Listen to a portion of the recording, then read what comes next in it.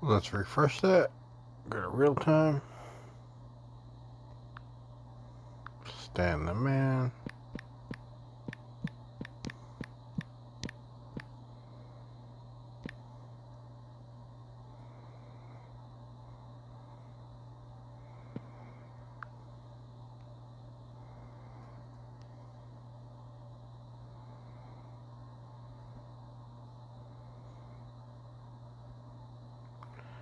Our final roll, and winner is Justin, spot number 15. Congratulations, sir.